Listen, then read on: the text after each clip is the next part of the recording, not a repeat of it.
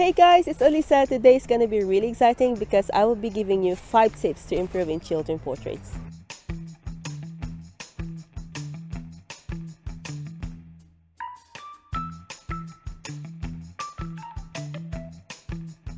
So children portraits is my ultimate passion. That is why I started photography in the first place. Taking photographs of kids is very fun and interactive. It's very different from taking photographs of adults. So in my five years of experience, I will be giving you some tips and tricks that I personally use on my shoots and it's going to be really helpful for you as well. So tip number one is planning the outfit. Outfit is very, very important because when you look at a photograph, well, the first thing you look at is the subject's face. The second would be what they're wearing. Also, outfit adds texture and color and also story to the photograph you're trying to take. And also, you can't really edit outfit in post process. So you can only do so little things about it, like you can change the color maybe and remove some stuff. But apart from that, what they're wearing will stay on the picture. So when you plan an outfit, you can have very specific colors that you want. Also, you can check in with who you're photographing, what available outfits they have. And also you can buy these things in the shop. Sometimes I would buy mine in Primark or H&M and also you can get these things in charity shops or make it yourself really. So what I look at in outfits basically is not too bright color and not too much busy patterns and no visible letters or writing or logos. I just want it as plain as possible because the main focus of the photograph is the face and the outfit is just like an element and a texture to your photograph. If you could just put your hands in your pocket I would say. Yeah, let, let them go. No, let go of the leaves. Bye. there we go. Yeah, you're doing great. That's it.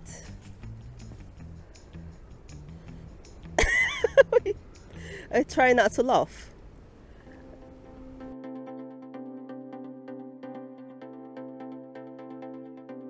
Can you put your, your right hands on your pocket, Logan? okay. Alana, can you hold his um right hand? Just no, I mean like on, on his, his arm. Just hold there. Yeah, perfect. That's that's that's how you do it. There we go.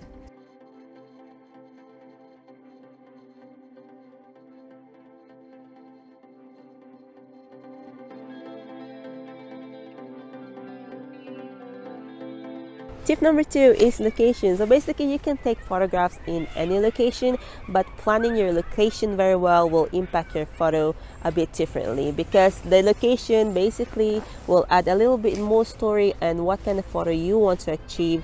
So when you are taking photographs on places that you've never been to, it is best that you go there maybe a few days before so you can scout the area.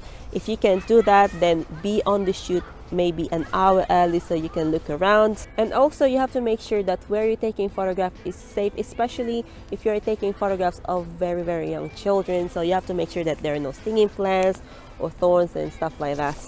What is that face you're doing Logan? You smile. Is that a smile? There we go a bit closer. Can you try and hold your scarf um Alana? Hold your scarf both with your hands both your hands. So yeah, perfect like that, yeah. Yeah, good girl. Okay, just one more. Are you saying something? You're a good boy, you're telling yourself that. yeah, you are though, you are, yeah.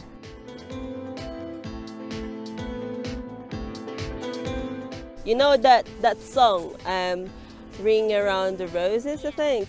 Well, you have to, to hold hand and spin around. Yeah. Yeah, can you do that game for me? But don't spin too much, you might get dizzy. So just over here. Yeah, yeah, please. High switch.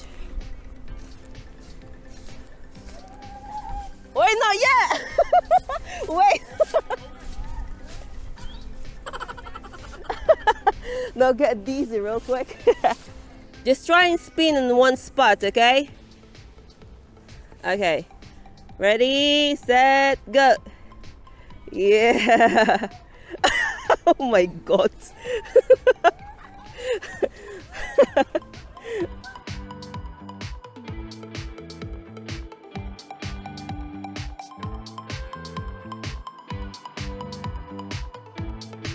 My tip number three really depends on you. So the question is, Is focal length important? Well, the only importance of focal length is what kind of photograph you want to achieve. So basically for my photo shoot for today, I want the best bokeh possible. So I'm using my Samyang AF 135mm f1.8 because I want the focus of my photograph to be just my subject and the background is sort of like just an element. So if you don't have a 135, you can start with a 50 millimeter. There are a lot of 50 millimeters that are cheap and available in the market right now. You can also use probably 35 and also what I use a lot in the past is an 85 millimeter.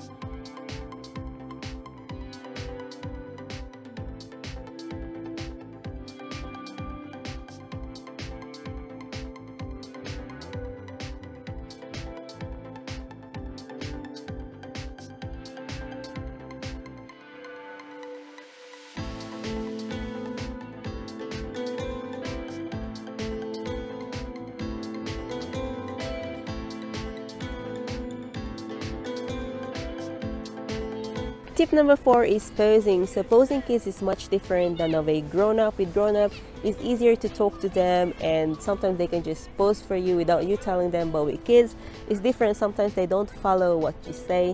So you have to be very creative in trying to post them. So basically, how do you post kids without actually trying to post them? So for example, with grown-ups, you can just say, oh, can you look at that way? But with kids, it's different. So you have to make it interesting. Like, oh, I can see some birds right up on the tree. Can you look at that way? And then they'll be interested in looking that way. But you didn't really tell them to pose. You just said there's birds up there, and they'll do the pose for you. Can you see some people on the playgrounds? Uh, yeah. Another great tip for posing is using props so you don't really need expensive props when you're posing kids. You can just use things that you find in your surroundings. For example, like this leaf, you can ask them to hold this for you and that's kind of like posing as well. You just stand here next to this so let's see. You can hold some of this leaf for me. This one looks nice. I mean, it's pretty dead, but you know, it's pretty big. Move this camera closer. so far. Can you have your your body more like facing that way? Yeah, but only your head's looking me. You're doing great, perfect. Can you give me your serious face? Like, yes like that. I shouldn't make you laugh, right? you just serious face, serious face.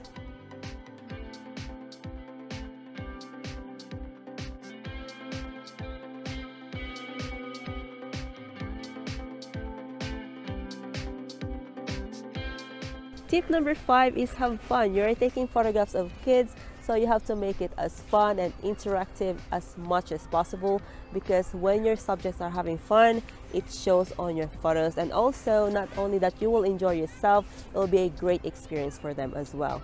So that's it for today's video. Thank you guys so much for watching. Please don't forget to subscribe and I'll see you guys on my next one. Bye!